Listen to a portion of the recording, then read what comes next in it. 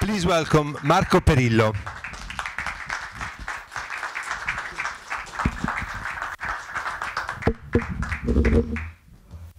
Marco, thank you also for the book trailer. Very well done. And with all these skulls and mysteries, I think it's kind of put us in the right mood to talk about the mysteries of Naples. And maybe we don't want to do a history of Naples summarized in five minutes, it would be too ambitious.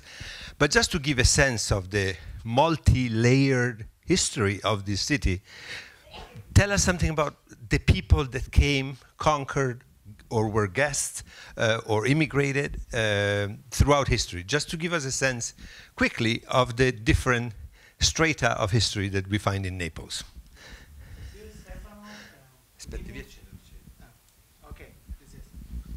Stefano, and good evening to all. I'm very proud to be here in New York talking about uh, my birthplace, uh, Naples, and uh, the city I, I, love. One of the most ancient cities in uh, Europe that influenced every city in Europe. Um, there is a, a, phrase by Curzio Malaparte, it's an Italian writer of the past, who said, uh, what do you hope to find in Paris, in London, in uh, Venice? you will find Naples. It's a destiny of the whole Europe and the whole world to become Naples because of the universality of this city uh, that has uh, uh, 2,500 years of history and in which life uh, uh, is continuous uh, from the start of his history till now. Because Naples, we say, is the ancient world still alive today. So uh, we have uh, a lot of dominations uh, from the Greeks, the Romans, and the Byzantines, uh, the Angevins, uh, the Swabians, uh, the Aragonese, the Bourbons, and the Americans too, after the Second World War. And Naples, like a sponge, has absorbed all the moods, uh, all the cultures, uh, uh, and has one of uh, uh, history uh, incredible and very very special unique in the world i think. Because Naples Marco but wouldn't you think that in turn all these different people that came to Naples often as conquerors ended up becoming all Neapolitans Oh, I, I think so. And uh, Neapolitans uh, became uh, that people because uh, to be Neapolitan, I think, uh, is to be universal. Uh, Naples is very, very similar to New York because it is more it's a more overt city, uh, a city uh, which uh, has a great opening toward the other people and is very, very inclusive. And it's a city, you know, by the sea. we have a, a great gulf, like a hug. Uh, in, uh, for, for who uh, can love it. And I show you um, uh, a lot of pictures so you can understand better what we are saying. This is the, the landscape uh, of Naples from the hill of Vomero that's the most hill of the city, and you see uh, the city uh, behind the Mount Vesuvius, the volcano. And the fact that the city is uh, under a volcano, it's important because um, we are talking about mysteries, we are talking about myths, uh, we are talking about legends, and we are talking about uh, a, a world we uh, cannot see. So uh, I think this derives from the volcano because the volcano it's a door toward an invisible world anyway. So these are the Spanish quarters and most ancient quarters of the city. Why are they called Spanish quarters, Marco? Because uh, in uh, the 17th century, the Spanish troops uh, lived there, and the Spanish conquerors uh, decided to live in that part of the city that now it's uh, the oldest part, uh, I think, in uh, the town, uh, next to um, Piazza Plebiscito, that's the heart of, uh, the, of Naples. And uh, they are very, very, very loved by the tourists anyway. Here we are in the Gulf and we see the Castel Nuovo, as known as Maschio Angioino, and uh, we see the uh, another castle over there over the hill of Vomero uh, that's uh, Sant'Elmo. Uh, it's very very important because the city was defended by this castle. And here before you, you proceed Marco I hope you all uh, had a chance to enter the credentials to use the Wi-Fi network of NYU. And as you might know, we're doing a Facebook Live broadcast of this. So if you want to let your friends know that you're here and that you're listening to the incredible history of Naples, thanks to Marco Perillo, please do so. Thank you. Yes. And um, Malaparte said too that Naples is uh, one of the mysterious cities in the world because uh, Naples is a, a, a city um, unlike Pompeii or Nineveh or Babylon that has never been destroyed, has never been buried. So that's why we have the life of the ancient still alive uh, today. So that's why we have a, a, lot of mysteries and a lot of contradiction because uh, in Naples uh, you will find uh, the sun and the darkness, you will find the uh, upper uh, city and the underground city as well. Uh, you will find the sacred and the profane in the same way. Uh, that's why Naples is. Oh, has all uh, has a lot of contradiction, but uh, I think it's unique because of Marco, this. What is this neighborhood called? Questo quartiere? Yes, this is the quartiere of Chiaia. So That's it's a very upper scale. Very upper scale of the, the That's city. also where my friend Maurizio Marinella has his store. Yes, the best true. thighs on yeah. earth, right? Best ties are from Naples. You all have to agree with that. That's very good. By by the sea, I, I live in uh, this quarter uh, today, and uh, uh but my uh, my family has the origin from the historical center. Historical center was founded by the Greek Neapolis, that means new town, Neapolis in Greek, uh, because it was a new town built after Parthenope, that was the first uh, town uh, the Greek uh, founded after the tomb of the siren, because the mermaid Parthenope um, was uh, dispirited after uh, Ulysses didn't hear her and uh, her singing and uh, she suicided and her body uh, came uh, to the uh, Castel dell'Ovo you see over there that was a, a little island. We will see better uh, as soon as possible. And um, she died and after her tomb the the city rose. Oh this is a a typical photograph uh, um, made by uh, Sergio Siano, who is uh, one of the most important photographer of Naples, and he works in our newspaper Il Mattino.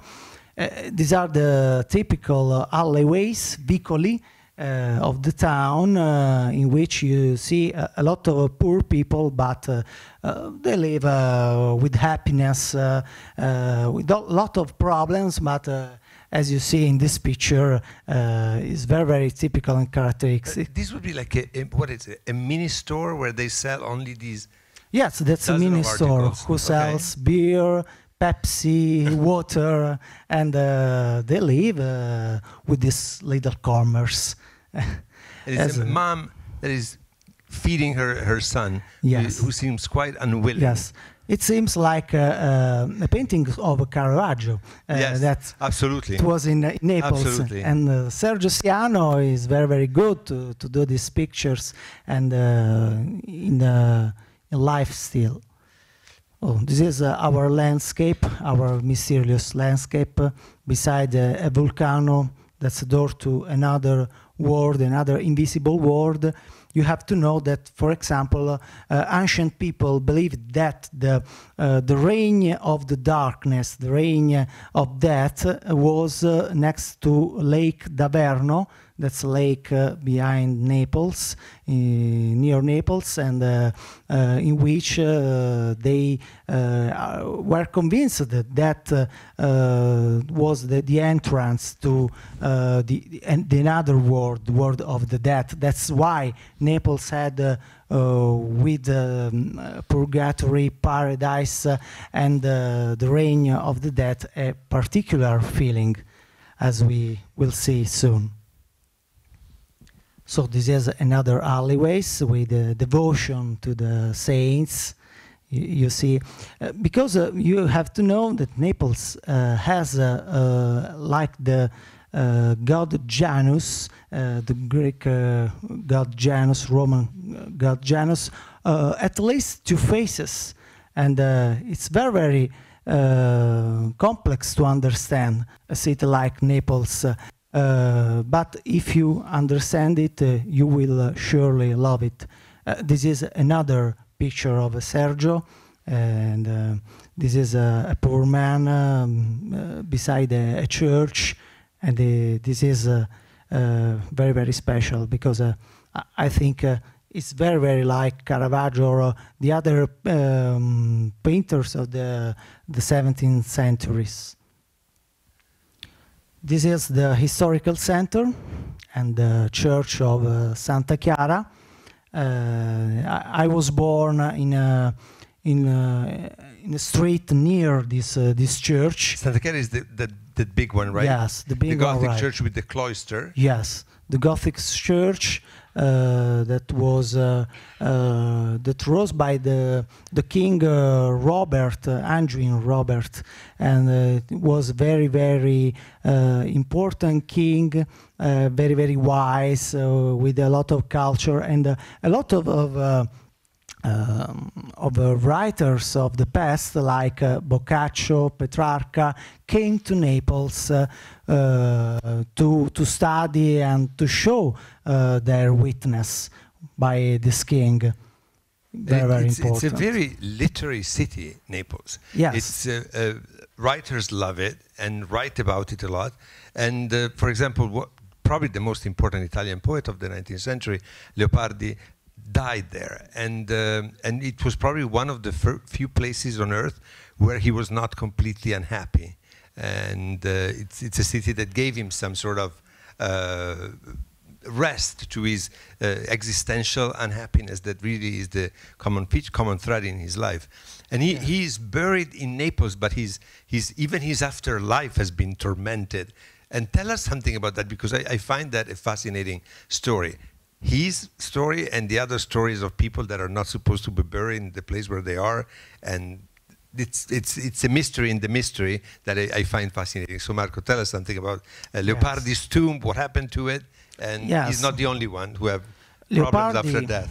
Yes, in the Leopardi, it's a mystery because uh, he came uh, to die in Naples. Uh, uh, he found the, the first time a relief to uh, his uh, illness, and but he died anyway. We think because of a problem of stomach and uh, uh, diabetes, Diabetes. diabetes, diabetes. But uh, it's possible that he died for cholera. Uh, this uh, it was a great disease uh, of the end of the 19th century.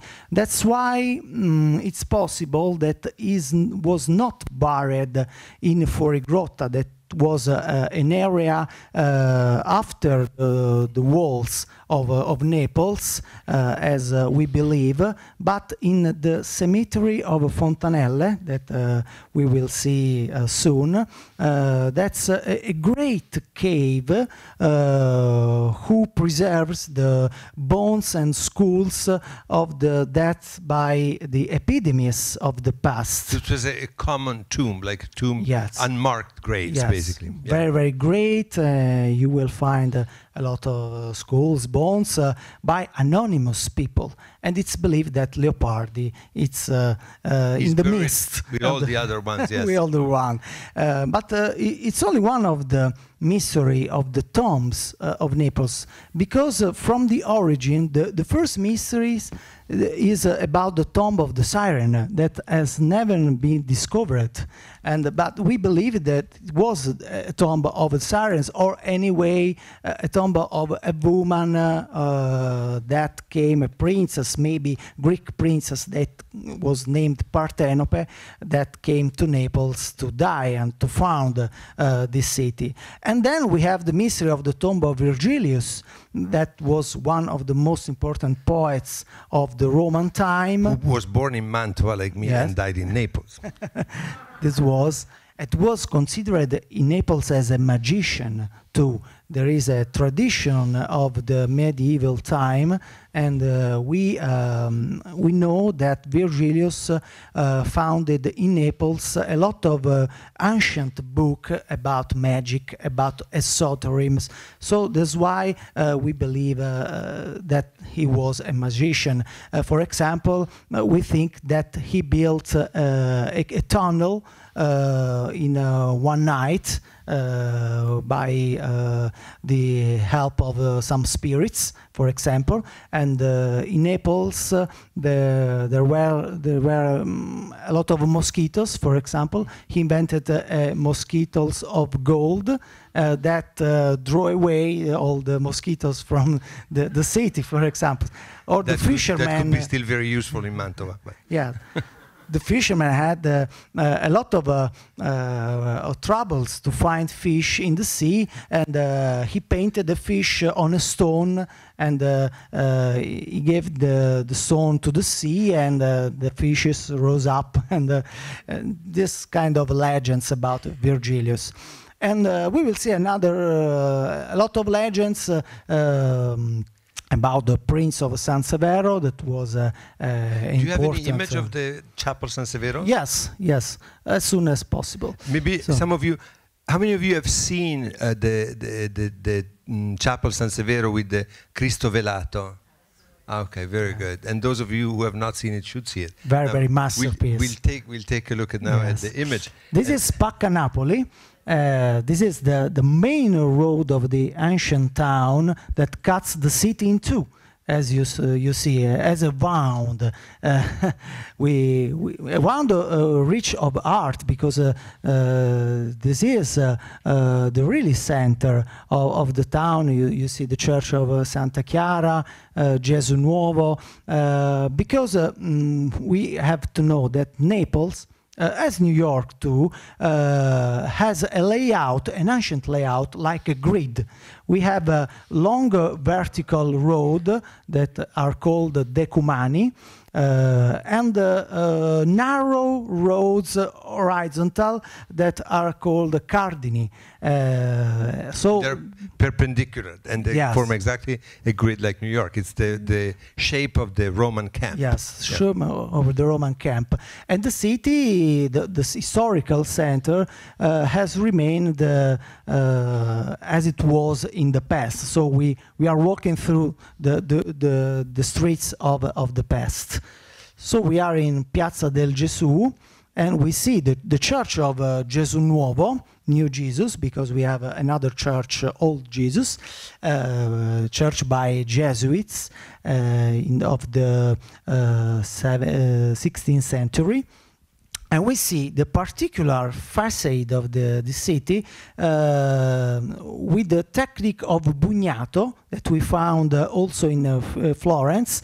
You, you see the, that uh, particular triangles, uh, little pyramids on the facade uh, of this church with the volcanic stone named Piperno in uh, Italian. Uh, it was a uh, this church was a, a palace before the palace of San Severino, one of the most important families of, of Naples, and um, he has a mystery because on that little triangles uh, of stone we have uh, some mysterious marks. Uh, we we don't know what they mean. Um, someone believed that uh, they are the marks of the ancient masons uh, to draw away the evil uh, from the, the facade of the, the palace. Other believe that are connected to some notes of music. So uh, the uh, entire facade it's like a huge pentagram. So uh, we think that uh, there is a, a host uh, music inside uh, this, this the facade of this church, one of the first mysteries of Naples. So you see better the facade of the, the church, very very ancient. And continuing our walk in uh, Spacca Napoli, we will find this palace, uh, Palazzo Carafa della Spina, a noble palace of the 17th century uh, that is also known as uh, Palazzo of the Jettatura, of the misfortune, because uh, we, we Neapolitan very, very superstitious. Uh, you know, we, we use the red horn as to, uh, to protect ourselves from disease, from the volcano. Uh, there is the, a lot of fatalism in, in Naples. That's because we, uh, we are living in a particular... Just a little footnote to this. Uh, many of you probably are familiar with our series Parole Parole, in which we present an Italian word that is strange, old, uh, uh, impossible to translate. So last year we had here uh, a good friend with Eva Cantarella, who is the Ah, major historian great. of, of Roman law. And uh, taking advantage of her presence, I asked, Eva, why don't you do a, a word for us? And I was thinking she would do something about uh, Roman law or a legal term. And she goes, "Mm, I will do jettatore. and she wanted to talk about this mysterious figure that you also describe in, in, in your book. Yes. Uh, this aristocrat with this very, very uh, unbelievable story. And, but there are uh, historical um, proofs of his existence. And so this is the palace in which yes, this is the palace in which we Tell lived. us something. But because if, uh, if you don't mention his name, we, are, we don't run no, any no, risk, no, no, right? It's, it's better don't, Yeah, don't mention okay. his name, because this this, uh, this noble of the uh, 18th century um, was very very famous uh, to take misfortune to others. So when he went to school, uh, every uh, everyone uh, uh, were ill, uh, for example. Uh, but the the worst uh, thing he did uh, was the first time he went to the theater San Carlo in uh, 1817. Uh, and uh, San Carlo buried. Uh, there was a great fire around San Carlo, that, and it had to be rebuilt. So it was the, the proof of his uh, jettatura. This is the, the palace of the historical center. He's the, the most ancient documented jettatore. And just looking intensely at his daughter, the daughter died, and something other weird story like that, right? Yes, yes. This is uh, also uh, a novel, uh, a French novel by Théophile Gautier, Jettatura, uh, about this uh, This uh, this character. Uh, is very very famous, uh, and, and you have to know, talking about Eva Cantarella, that uh, our red horn uh, derives from uh, the the penis of uh, uh, ancient Roman. We find it in Pompeii. Uh, yes, So to, it's a, to deliver from evil. A phallic symbol that can Phallic be symbol. used without scandalizing anybody, and Yes. therefore it was transformed into a, a horn, a little Yes, red horn, red think, horn. in coral, right? That's Color, yes, yeah. yes, it's better. That's It's, it's a, more the, the, important. the Roman the Roman god of uh, of fertility, Priapus. Yes. is- so that's all connected to that world, and and the horn is nothing but phallic symbol is coming from uh, Priapus that the Napolitans adopted as an antidote to uh, Iella and jettatori. So you better hold on to your red horn uh, in this It's- romantic it's, way. It's very, very, very important. I just learned all these things yesterday and today by Yeah. reading Marco's book. I don't come with all this knowledge. Yes, because you have to know that in Naples are still alive the ancient cults of the past, because uh, Naples absorbed all these cultures and uh, of the past uh, and mixed them uh, uh, with the Christianity, uh, and we see it better when we see the Church of uh, San Paolo in a few minutes.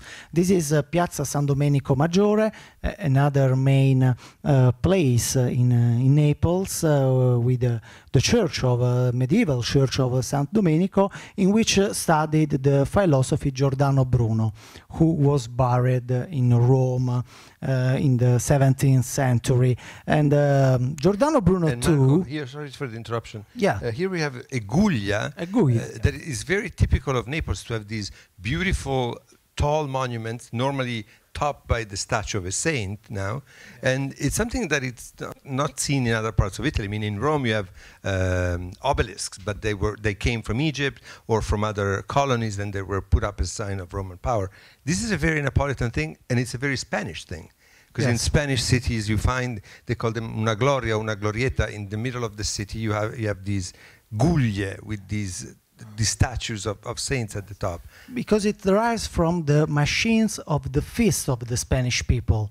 Uh, so when, uh, for example, uh, Neapolitans uh, came out from the, the, the plague, in this case, The plague, yes. they yeah, the plague yes they uh, erected this uh, guglia yes to to thank San Domenico, uh, who is believed that uh, So they were the originally made for processions. Uh, Yes. These, and they were made of wood or other um, Yes, materials. made of wood. And then they were given a permanent uh, dignity with the use of marble. And Yes, okay. they are still uh, here.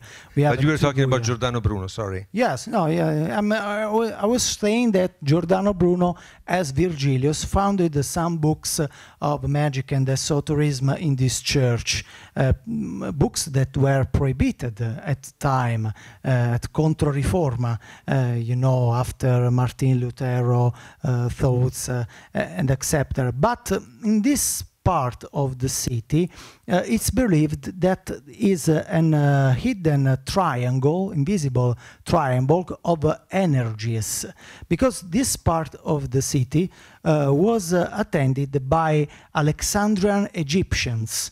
Uh, that came to Naples in uh, Roman times with their cults. For example, this is the statue of uh, the god Nile, the, the river Nile, uh, that's figured uh, with an old man that is called uh, O Corpe Napoli, the body of Naples. This is because this, this sculpture was found without the head. Uh, it was believed it was a woman.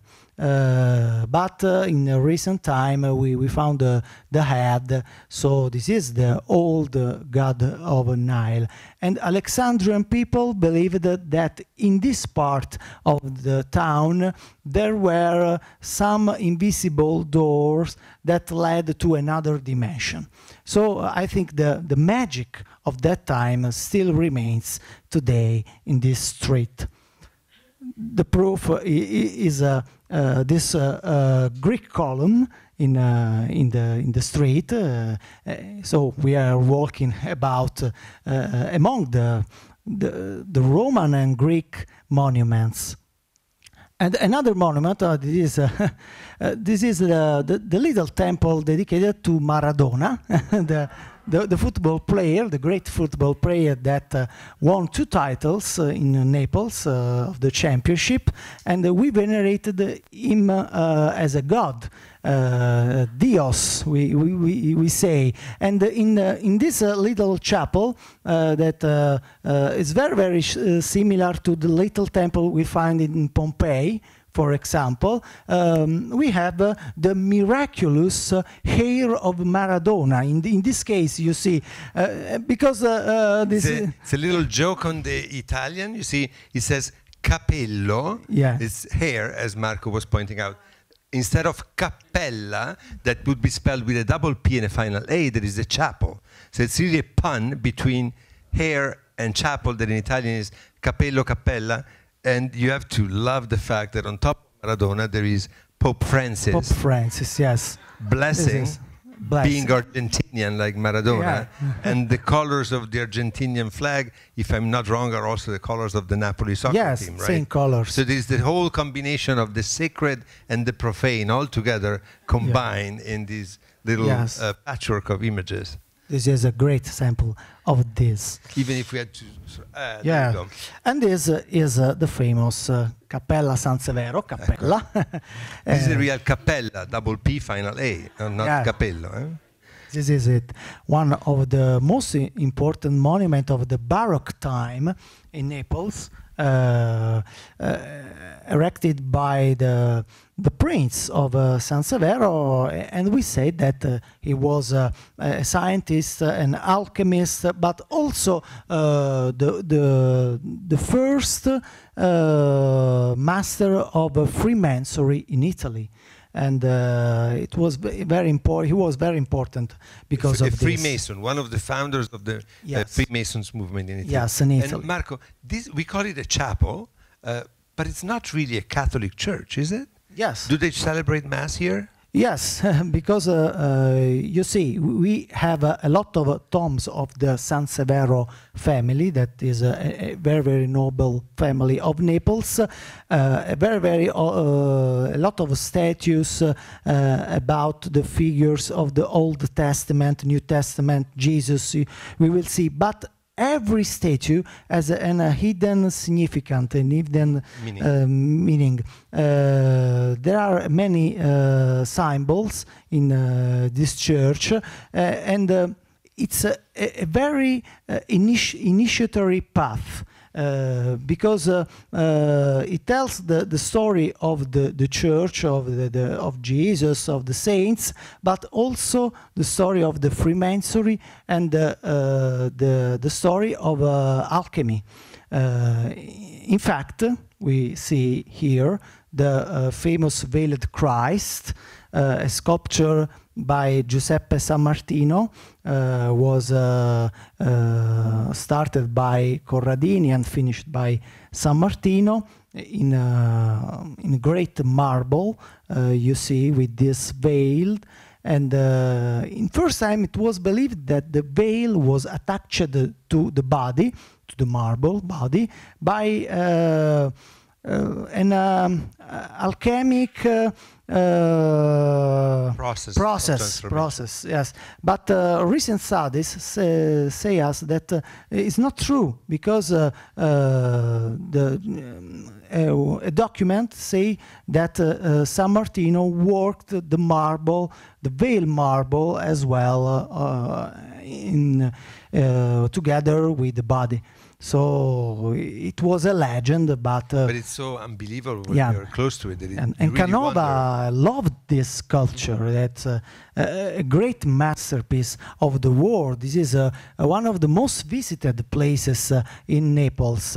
Uh, and uh, we are saying uh, about we are talking about the the mystery, the alchemical path, um, and this is uh, uh, the Christ that uh, is uh, is that uh, he's waiting for a resurrection, but is also uh, the um, the alchemical material uh, purified uh, that after the nigredo, the, the death, uh, is waiting to rise up and uh, for the resurrection. So that's a little example of uh, uh, all of the mysteries of uh, this chapel that are uh, still studied today. And Prince Sansevero said we this very polyedric figure. Uh, so he was he was a scientist. He was a, a, free thinker on some level, and his studies about uh, blood circulation in particular are still Yes, yes, in and, blood And there is circulation. a black legend also about his studies. Yes, yes, because we have uh,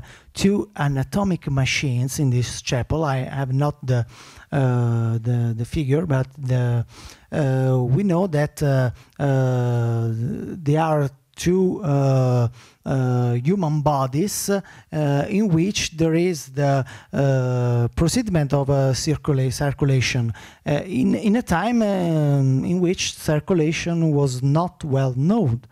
And, um, but we know that Sansevero studied uh, this uh, kind of things. But the and legend he understood the difference between arteries and veins. Arteries that was veins. something that was not very clear at that time. Yes. And how did he discover that? And they discovered It's then a scary story. No, it's, um, it's believed that he uh, killed two slaves and uh, by injecting some alchemical material in their veins. And so that's why the veins became of wax. Uh, but we know now that uh, it was uh, only a study. Uh, It was for the good of science. of the good of science, yes, but uh, for the for the for the time uh, it was uh, very very strange. It was uh, called uh, the the the prin- Principe Diavolo, the uh, evil prince. So you know it's a very very particular figure. the chapel you said is one of the most visited monuments museums worldwide. It has millions of visitors. Yes, year. eight millions only in this year, and uh, he's increasing. And it belongs to the heirs of the family. Yes, yes, because uh, they are uh, doing a great work in this uh, in this uh, this place uh, uh, because uh, they they host uh, book presentations, uh, shows, music, and it's very very alive place. Um, it was not so many years ago, but we are very very happy of this success and the success of the tourists now in Naples that are coming a lot. So it's very very important for for us and for this city, one of the most uh, ancient and uh, attractive. Oh, this is a, a particular character of Naples. Uh, that's named Pazzariello. That's uh, a particular uh, uh, actor who, with his music, his uh, um his voice uh, can attract people, and uh, mainly uh, when a shop inaugurates. Um, it's famous because uh, he participated uh, in an advertisement uh, by Dolce Gabbana uh, in recent time. Uh, if you see that advertisement, you see the uh, protagonists of the Game of Thrones uh, that uh, are coming in Naples and uh, uh, find uh, some particular uh, characters like this. But Basically, goes around the city with his drum and makes announcements. He's like a, a living commercial machine. He, he, he, he sings or, or, or screams out loud that a new shop is opening and people should see it. Like he, Yeah. he's, does commercials, basically. Yes, this is Publicity. commercial for business, but also for amusement. It's a it's a particular thing also that uh, uh, was disappearing. Uh, it was acted also by Totò, the great actor of uh, Italian actor, and uh, this is, the, there is a, a scene in, uh, in the movie L'Oro di Napoli, The Gold of Naples, that uh, in which Totò uh, acts this uh, character.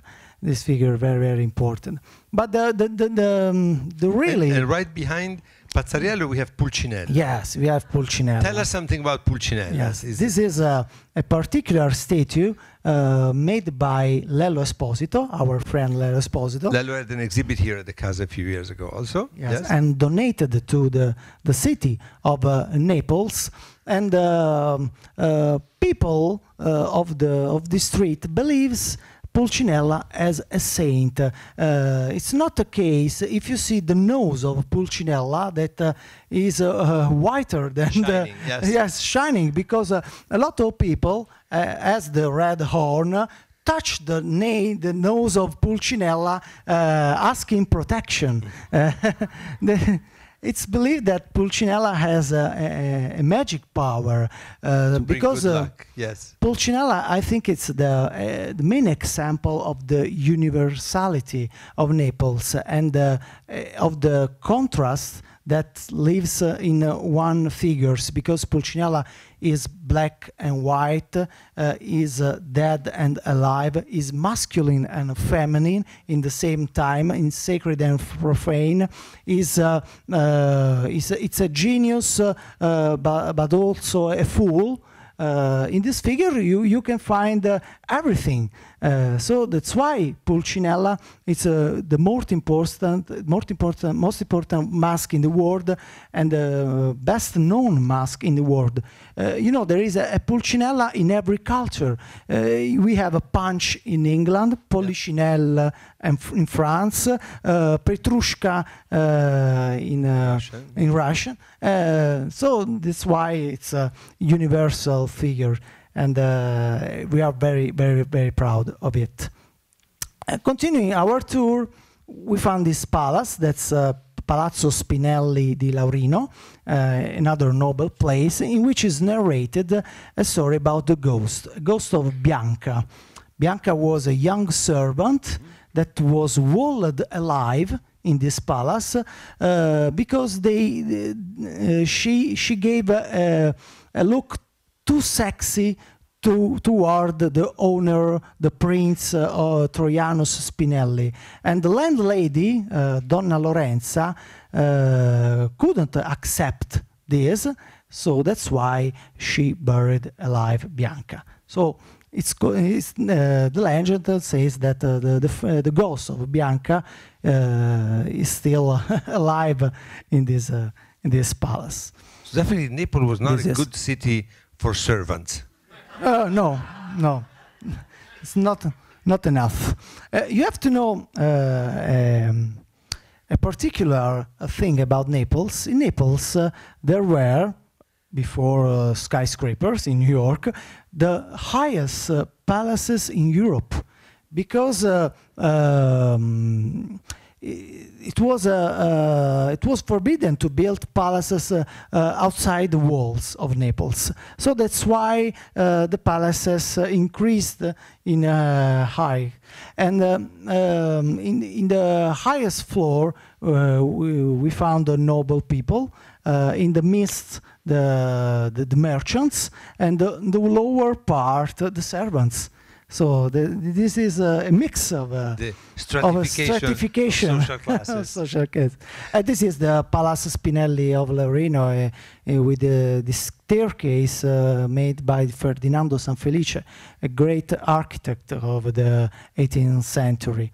It's a very, very masterpiece. Marco, since our time is running out, and you are the living encyclopedia of Naples, and, I, and I, I want to show the, the two books that Marco wrote. So this is the, the first one, Misteri e segreti dei quartieri di Napoli. And this is the last one that came out just recently. Yes. 101 Why about the history of Naples that you cannot ignore, both published by Newton Compton. Uh, they're not translated into English yet. We hope that this presentation will also help uh, Marco, possibly uh, finding a publisher here. Naples is such an interesting, uh, such an interesting story that uh, I'm sure many people who don't speak Italian still would love to know the mysteries. But we cannot let him go without giving a chance to you to ask the Living Encyclopedia of Naples a few questions. And before I open the floor, I have to ask uh, Luca Marfè, who is the person thanks to whom Marco is on this stage tonight, to ask a couple of questions. And he's also a Napolitan. Come, Marco. I can stay here. No, mettiti sotto le luci, se no mi sgrido. Thank you, Stefano. Marco, benvenuto. I'm, I'm going to say welcome uh, in, uh, in Italian. Um, um, very first question. Uh, I mean, after all of this, uh, I think I'm going to take the very first flight to go back to my hometown, Naples. Uh, but it's going to be like, uh, how did all of this come out? Because you're talking about histories, you're talking about traditions, you're talking about legends. So maybe books uh, are not enough. Uh, I mean, studying them or what uh, have you done? What uh, have you been doing? Like uh, going on the street and talk to people? Uh, how? Wh where did you find all of this?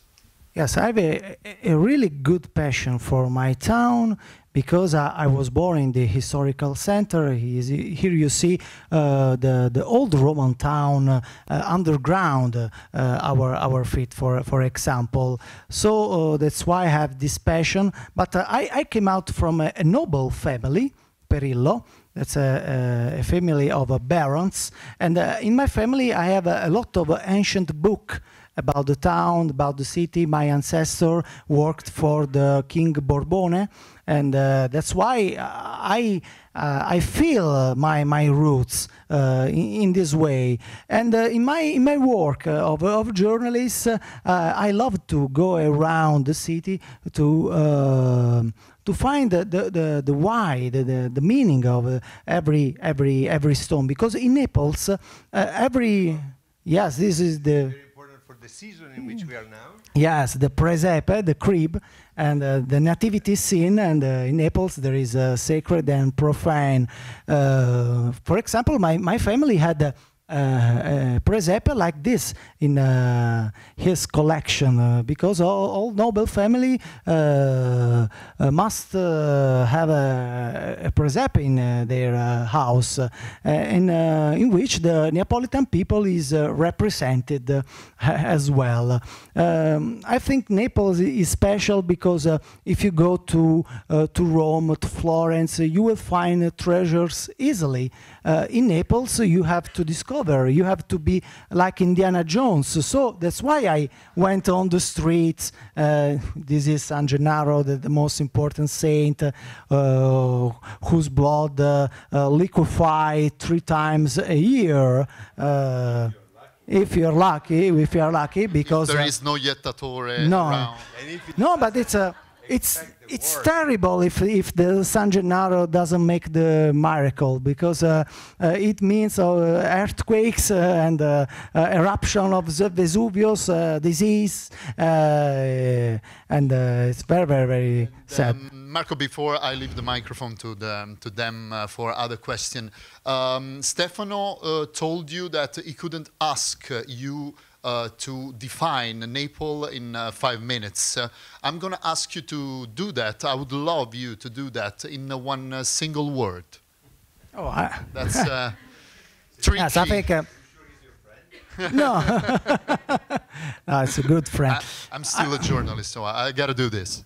I, I think it's a, Naples is a, a, a symbol of the world. It's a metaphor of the, the whole world uh, because uh, uh, his culture uh, influenced by many many peoples uh, and, and, many many uh, important people of the history. So I think to be Neapolitan means to be universal as I, I, said. And it's the possibility to, to talk about to everyone and uh, uh, to adapt yourself uh, to uh, every aspect of the world. Uh, because in uh, our veins we have a, a mixed blood. I, I, will tell you a particular story about my family because my family Perillo it's a noble family and I have a genealogic tree of my ancestors till the 13th uh, century, uh, in which I found my, my first ancestor that was called as me Marco Perillo. Um, and my, my, in the symbol of my family, heraldic yeah, the coat of, the coat of arm. Uh, uh, it's a, a, figure with uh, three pairs, so that's why Perillo. But Pera. Perillo, three pairs in the of. Yes, and um, um, when I, I, went last year in uh, Ireland to Ireland, I I found uh, a symbol with three pairs. Uh, that was related to the ancient family of a Perry. Uh, that was very very similar and I uh, discovered that the Perry family uh, was a Norman family and we know that the Normans came to Naples so that's why also my family can have this uh, origin uh, very, very uh, far in the. Marco, thank you for bringing uh, Napoli in this uh, very room. Thanks. Thank you. Thank you very Grazie much. Luca. Grazie do, do, we have we have time for a few more questions from the audience? Again, take advantage of interviewing uh, Marco Perillo and asking him questions. Maybe you're thinking of your next trip to Naples, something you want to see, or something you have seen that have puzzled you and you, uh, it remains a mystery. Anybody? Uh, can we have the lights in the audience, the lighthouse? Yes. Hi. Richard. I'm just curious. Um, are in, each dialect, uh, in each quarter, are there different dialects per quarter? No, no, no. We have uh, only only one one dialect. Neapolitan dialect that, that, that is also a language. Yes, some people would, would actually because, argue. Uh, we have uh, in our language uh, uh Greek terms uh, and uh, Spanish terms, French terms that are mixed together. It's a metaphor of the, our culture. It's very, very and, and you you don't you know, according to, to some definitions, what the difference between a language and the dialect? It's an army. So Neapolitan definitely it's a language, even if it doesn't have an. And yes. there is a literature. Yeah, there is a literature uh, from ancient very times until today. People yes, write very, in very Neapolitan. important, and uh, also the the tradition of music.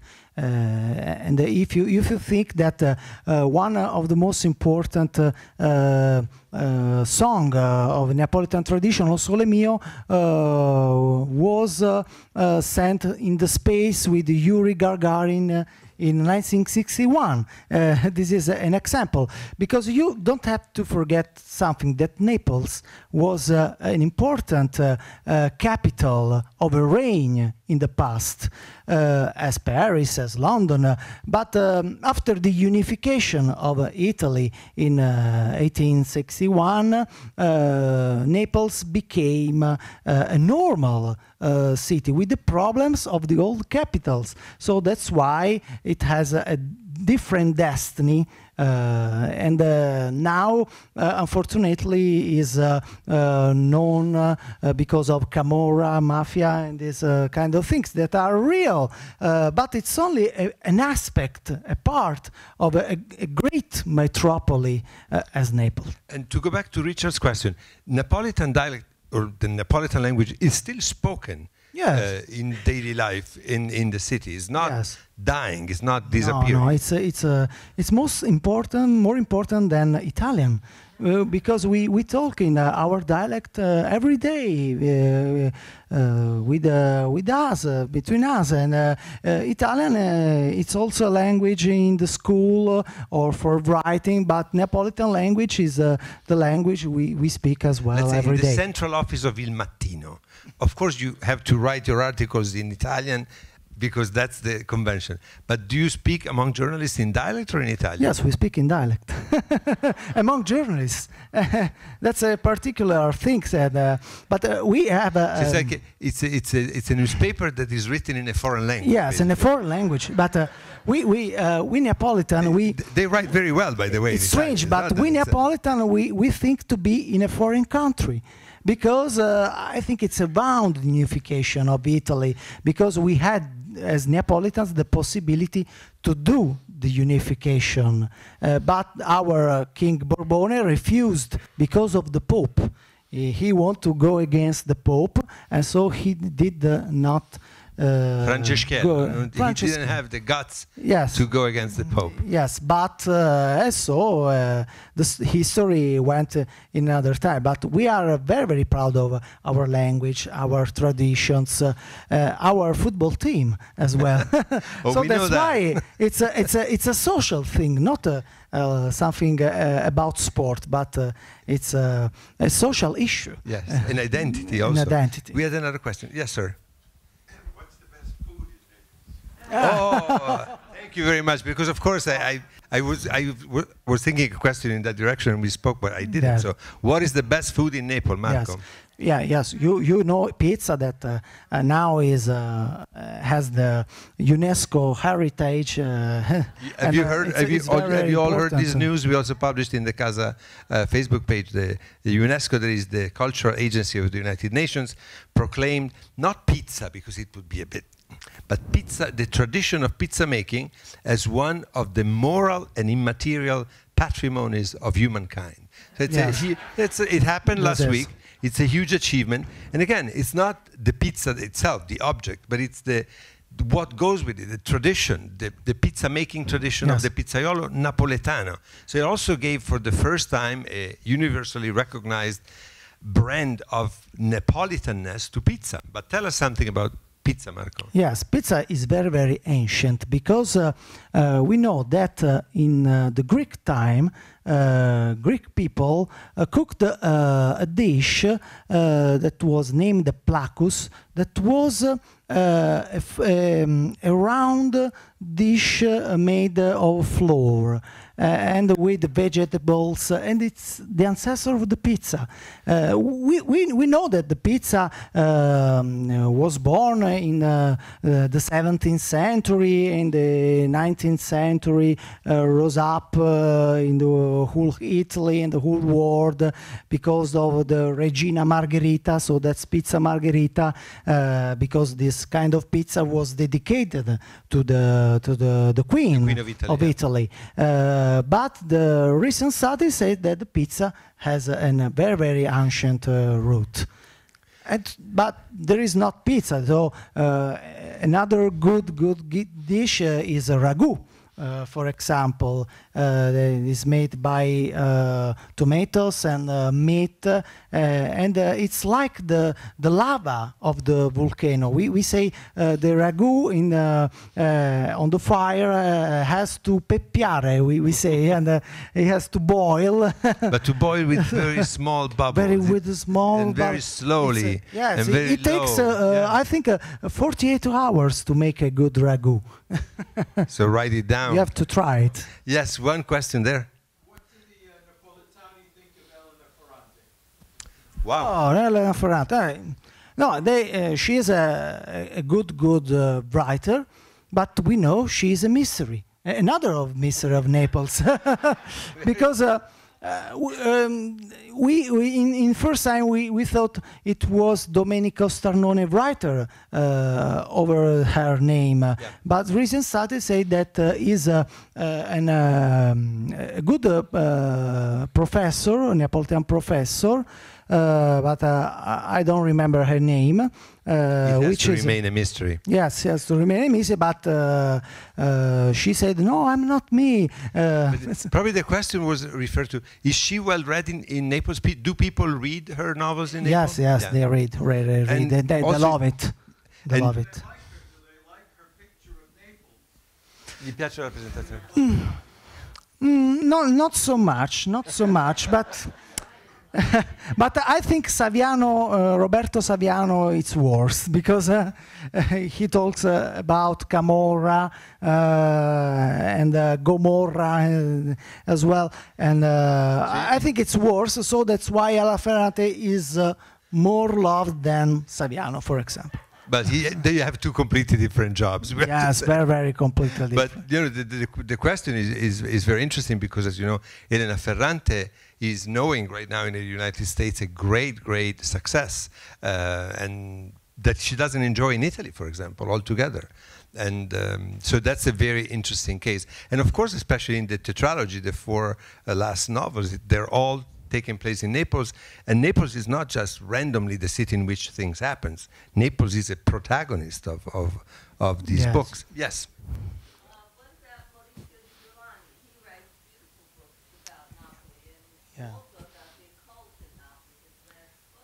Yes, it's a it's a very very friend of mine. For example, Maurizio. Maurizio De Giovanni is another yes. writer that has been mentioned. Yes, uh, he's a thriller writer. Uh, he invented uh, the character of the uh, Commissario Ricciardi.